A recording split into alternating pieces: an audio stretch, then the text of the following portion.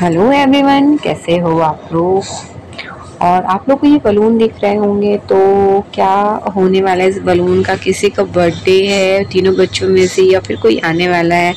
तो आप लोग सोच कर ज़रूर बताइएगा। बाकी आप लोग को लास्ट वीडियो तक तो पता ही चल जाने वाला है। और बस यहाँ पे नीवी खेल रही थी और ये बलून ना हमने नीचे तक के लगवाए हुए हैं। और एकदम बाहर में नहीं गई थी क्योंकि रामन अकेले घर में खेल रहा था। मम्मी नीचे ही थी।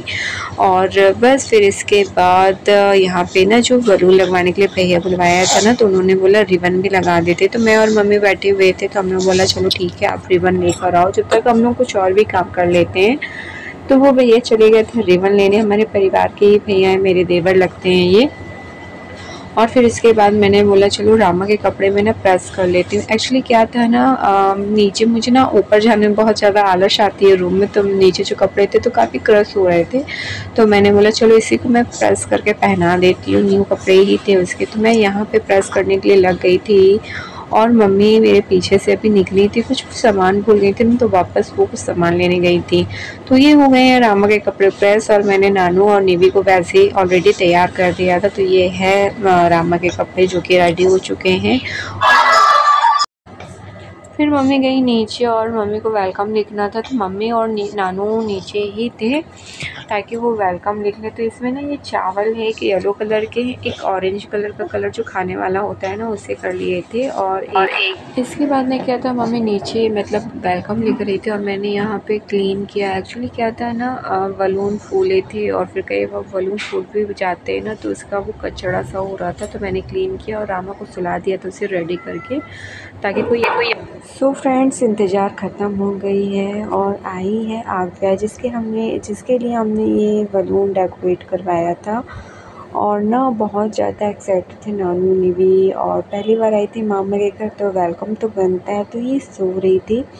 तो हमने ना नीचे से ऊपर बुला लिया था दीदी को और यहाँ से हमने उसकी ना, अभी उसकी आरती करना था, उसकी फूल करनी थी।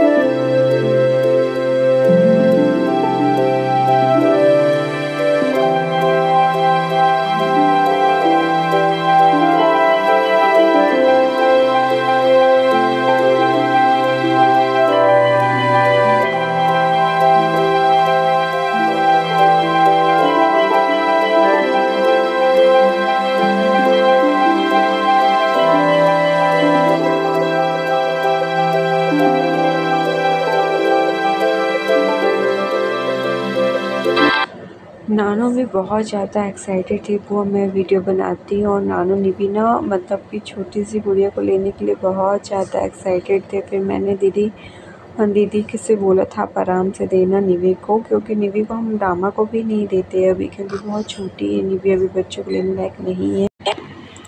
लेकिन नानू बहुत अच्छे से ले लेती है और बोल रही थी, मम्मा, आप मत खिलाओ ना, मुझे लो, पता है, आप लोगों को जब से रामा, मुझे लग रहा था रामा कभी इतना छोटा था ही नहीं, क्योंकि ना बड़ा हो गया ना तो छोटे बच्चों को लेने में ऐसा लगता कि एक रामा, निवी, नानू इतने बड़े थे ही नहीं कभी तो फिर बस मैं बोल रही थी कि आप हाथ पैर धो लो, जब तक मैं इसे ले रही थी, मैं इसे ना ऐसे घुमा रही ताकि वो रोए ना, रो रही थी क्योंकि ना सफ़र करके आई थी, वो भी थक गई थी, बच्चे क्या होते हैं ना, उनके हाथ पैर चलाने की आदत होती है और जब वो कहीं जाते हैं, आते हैं ट्रैवल करते हैं तो वो सारा टाइम गोदी में रहते हैं। ना इसलिए बहुत ज़्यादा परेशान से हो जाते हैं। हमें पता रहता है कि वो हमारी गोदी में हैं। कहाँ से थके होंगे? बट वो बहुत ज़्यादा थक जाते हैं। हमसे भी ज़्यादा थक जाते हैं। अच्छा कई लोग ने कमेंट किया था। किसी ने किया था? कई लोग ने यही। किसी ने किया था? मुझे नाम नहीं मालूम। ध्यान नहीं है मीन्स। कि रामा कितने घंटे सोता है? तो रामा ना उसका कोई टाइमिंग ऐसा फिक्स नहीं है। वो अगर आठ बजे उठता है ना तो साढ़े आठ बजे सॉरी साढ़े दस बजे तक ही एक राउंड सोता है। अब वो कितनी देर तक सोता है, कोई इसका टाइमिंग नहीं है। कभी दस मिनट में उठ जाता है, कभी आधे घंटे में उठ जाता है और फिर उसके बाद वो नहीं सोता है। तो मेरा बेबी तो नहीं सोता है ज़्यादा और अगर आपका बेबी दस घंटे सोता है तो वो बहुत ज़्यादा सो रहा है। इसमें कोई हेडेक वाली बात नहीं है। फिर बस दीदी गई चेंज करनी, क्योंकि हमारे यहाँ देर, दहरी पूजन होना था और फिर इसके बाद मैंने आव्या को रेडी किया। मैंने बोला, दी, आप एक काम करो, आप रेडी हो जाओ। मैं आव्या को रेडी कर दूँगी। तो वो मेरे रूम में गई थी रेडी होने और मैंने आव्या को तैयार कर दिया है। कपड़े पहना दिए, उसको पैर में पहना रही थी। पता है, बहुत छोटे छोटे पैर थे ना तो मुझे डर सा लग रहा था उसे पैर पहनाने में। और मेरी नानू बहुत ज़्यादा एक्साइटेड हो रही थी कि, वाह, मम्मी, आप कितने अच्छे से पहना रही हो। मैंने बोला, तुम लोगों को भी मैं ऐसे ही पहनाती थी। बट ना इसका जो कुंदा होता है ना, वो मेरे से सेट नहीं हो रहा था, फिर भी मैं मुझे ये डर लग रहा था ना कि उसे कहीं चुभ ना जाए। वो बहुत हिल रही थी तो फिर मैंने जैसे तैसे करके उससे पायल पहनाया और बस यहाँ पे ना हमने मोहल्ले में जो आंटियाँ लोग हैं ना मतलब जो लेडीज़ हैं तो उन्हें हमने इनवाइट किया था दहरी पूजन के लिए। तो दीदी अभी रेडी होकर आएँगी और ये तैयार हो गई थी। तो फिर उसके बाद में सारी लेडीज़ आएँगी और दहरी पूजन होगा ना, जैसे कि मेरे यहाँ हुआ था तो दीदी भी लेकर आई है सामान। जो भी होता है दहरी में ना गेरू होता है ना, कत्थे कलर का, वो डालेंगे। मैं आप लोग को दिखाती हूँ और सब लोग आएँगे तो सब लोग बैठेंगे। उनके लिए भी हमने नाश्ता वगैरह बनवा के रखा है, मंगवा कर रखा है मीन्स। तो आप लोग बने रहिए इसके वीडियो के साथ।